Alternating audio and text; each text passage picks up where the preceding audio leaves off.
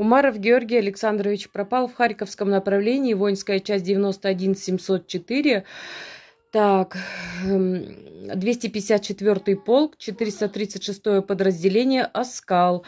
Пропал он 3.03.24 года, считается без вести пропавший.